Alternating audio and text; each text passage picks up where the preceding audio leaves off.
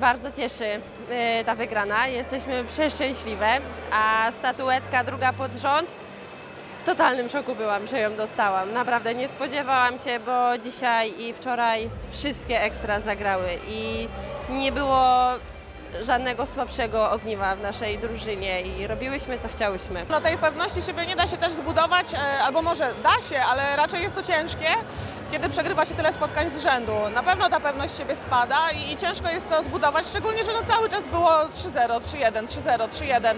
E, i, I to jest bardzo ciężkie. I e, u nas też grałyśmy, mimo tego, że miałyśmy 12 zawodniczek, czy, czy taki w miarę pełniejszy ten skład, też było ciężko, ponieważ no, nie grałyśmy ze zmianami. E, dzisiaj na przykład musiałyśmy grać z drugą rozgrywającą, która musiała wejść na boisko. Na co dzień tak nie gramy, ale to nie jest absolutnie tłumaczenie się, bo my musimy grać e, w każdym zestawieniu tak naprawdę. E, jednak jak Pan powiedział, jeżeli nie ma pewności siebie, to bardzo ciężko się gra. Brakuje, brakuje po tylu porażkach pewności siebie.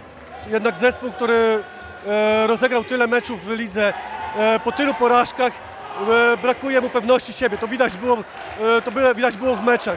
To, co zespół prezentował na treningach e, przez ten tydzień, a co prezentował na boisku tutaj, to, to były zupełnie dwa zespoły. To były, e, to były zupełnie dwa zespoły. Nie umiemy przekazać swoich umiejętności, tak jak Pan Moje powiedział. E, Kinga Kasprzak była reprezentantka Polski, Koleta Łyszkiewicz, tak samo reprezentantka, reprezentantka Polski e, juniorek, e, Sosnowska. To są dziewczyny, ze Pawlukowska, dokładnie, ze Staszem. Każda z nich miała, to jest e, aktualna jeszcze reprezentantka Białorusi. Brakuje po prostu e, przez to, że dziewczyny przegrały kilka meczów w lidze, brakuje pewności siebie. Zespół niestety z Wisły miał ten komfort, że grał na luzie, nic nie miał do stracenia. My niestety broniliśmy, w trudnej sytuacji byliśmy. Zespół z e, Ostrowca już mógł dawno skończyć swoją ligę, bo prowadził nawet z Wrocławiem, jak go obserwowałem. Ale no niestety to jest sport. Dla mnie ogromny sukces. Dla mnie ogromny sukces był już przed e, tymi grami przed LSK, bo z, siód z siódmego miejsca, tak? Z siódmego miejsca e, grałyśmy w finale. W finale ostatnio, znaczy po, po, pokonało nas świecie, bardzo zasłużenie, ale mecze były fajne, pią, pięć meczy i naprawdę super to wszystko wyglądało. A tutaj no, ten awans do ekstraklasy jest sukcesem. Jest sukcesem dla tej drużyny, bo grałyśmy w 8 zawodniczek. W tej drużynie niestety, ale nie było miejsca na, tak jak mówił Pan, na zmęczenie, na kontuzje, gdzie były dwie takie chwilowe.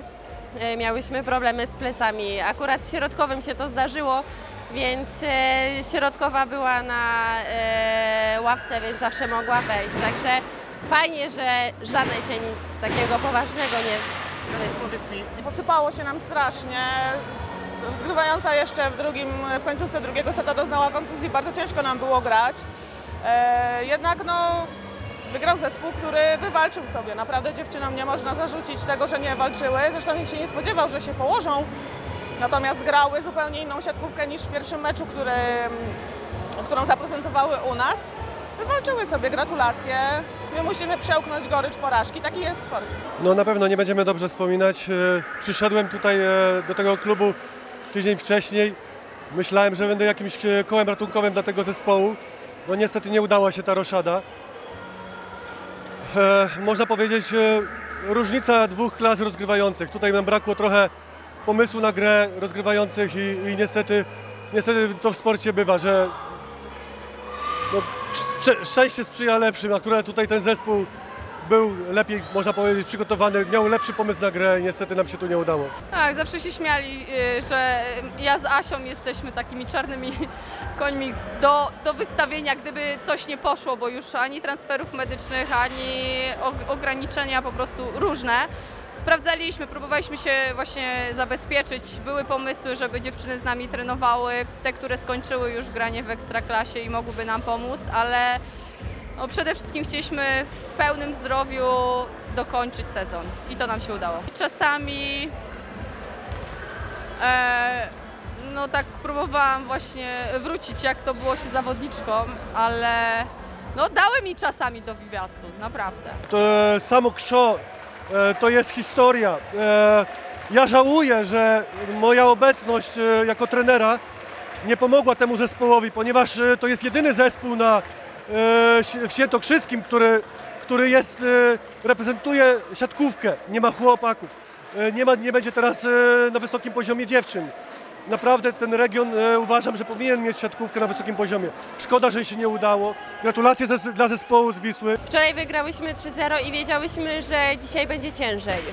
I też byłyśmy nastawione na to przed meczem, że musimy powalczyć, jeszcze wykrztusić siebie odrobinę sił i dać z siebie wszystko.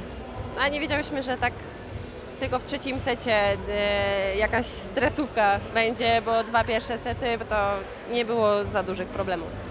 Więc no ekstra. No miejmy nadzieję, że zarząd e, klubu, e, urząd miasta zadba o to, żeby jednak ta siatkówka była na wysokim poziomie, że zrobi, zrobi wszystko, żeby, żeby jednak to nie, nie umarło, bo jednak warto, mówię, to jest klub z tradycjami, to jest klub z historią. To, że się teraz nie udało, może czasami dobrze zrobić krok w tył, żeby zrobić kilka kroków do przodu. Także uważam, że to nie jest jeszcze koniec dla tego, dla tego klubu.